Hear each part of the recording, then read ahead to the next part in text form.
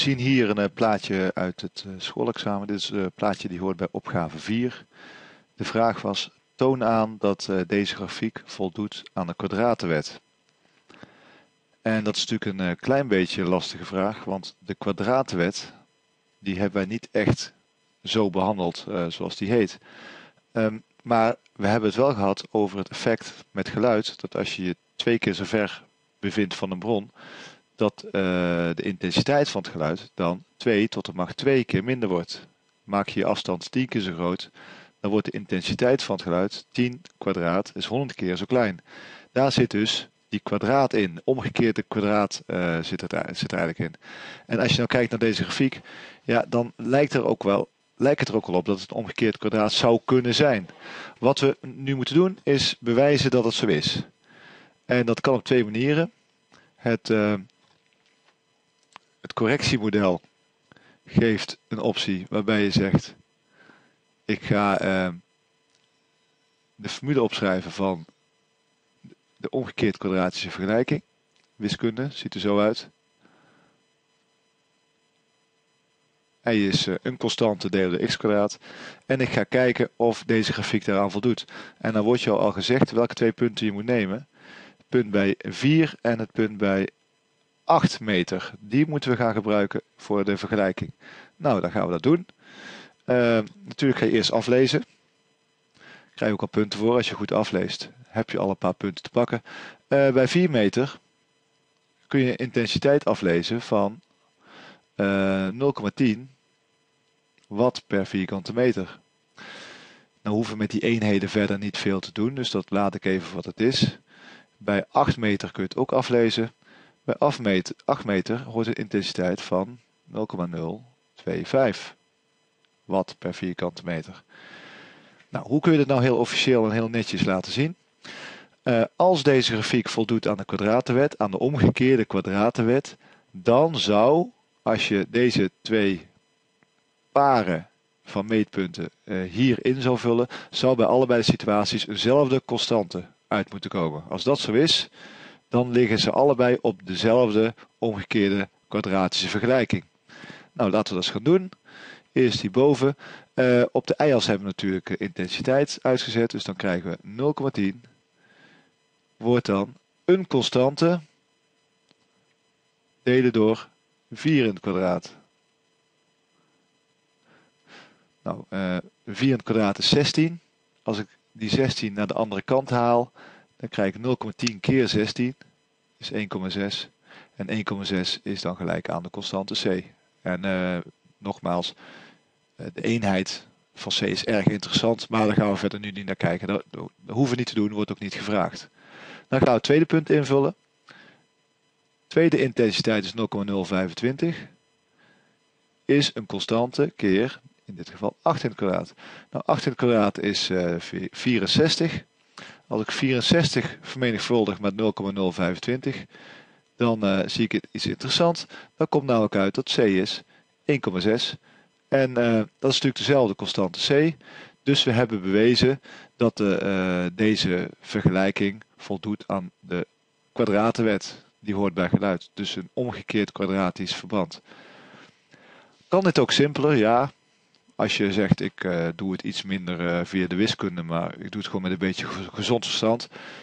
Uh, het is niet zo mooi, maar het is even goed hoor. dat je zegt, goed, ik, heb, ik ga van 4 meter ga ik naar 8 meter. Ik verdubbel mijn afstand dan zou moeten betekenen, volgens de omgekeerde kwadratische verband van, die je hebt bij geluid, dan zou moeten betekenen dat de intensiteit die ik meet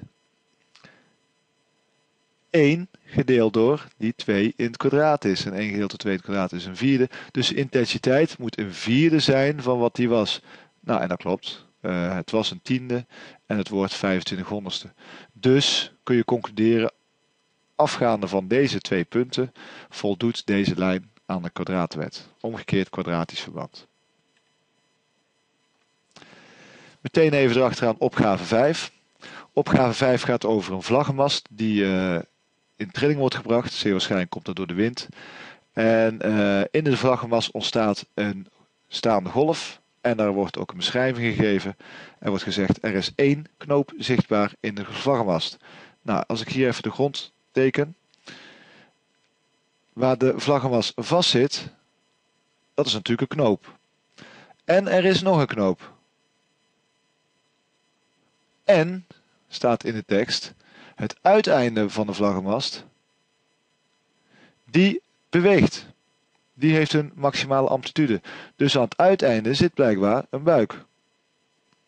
Nou, als je nou goed kijkt, dan zie je dat het een beetje onlogisch is. Dan moet er hier ook een buik zijn. En dan is mijn plaatje compleet.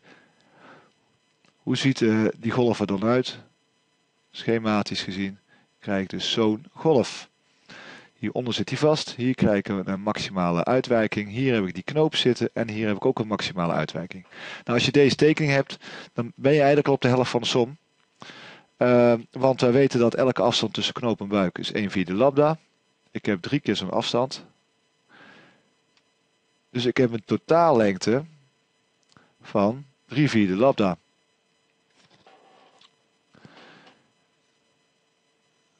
Totaallengte van 3 vierde lambda.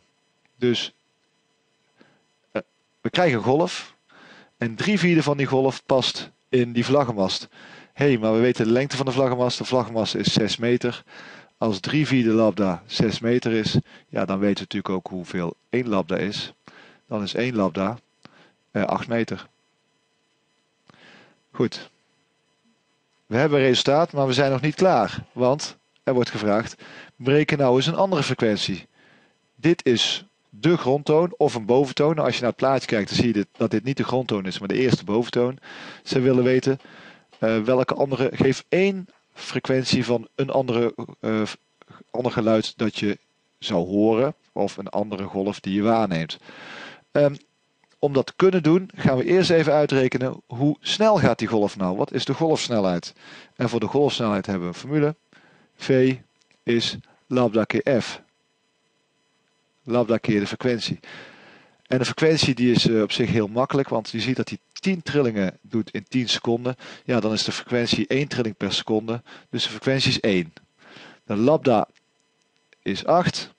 Dus we kunnen de golfsnelheid uitrekenen. Dus 8 keer 1, 8 meter per seconde. Die golfsnelheid die is hetzelfde voor elke staande golf die je hier krijgt. Wat we uh, nu gaan doen is een andere situatie pakken, een andere staande golf. En dan is het vrij logisch, het is niet verplicht, maar het is vrij logisch om te zeggen, ik ga kijken naar de grondtoon.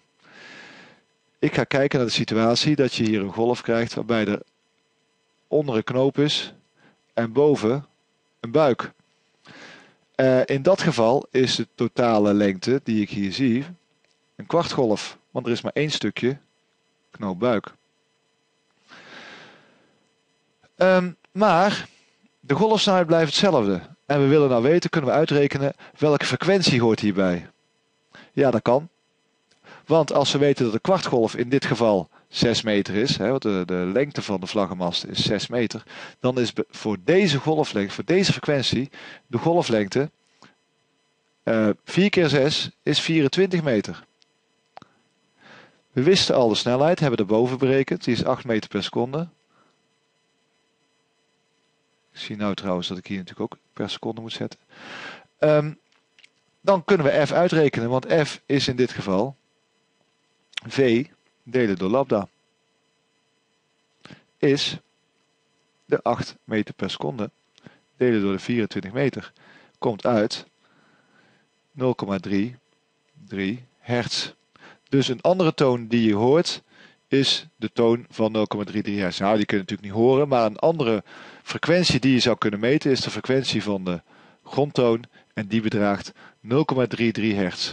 En je hebt een antwoord op je vraag. Even controleren. Ik moest de frequentie berekenen. Ik heb een frequentie. Ik heb de eenheid erachter. Dat is mijn tweede streep. Ik heb aan een significant cijfer gedacht. Twee cijfers. De derde streep. En we zijn klaar.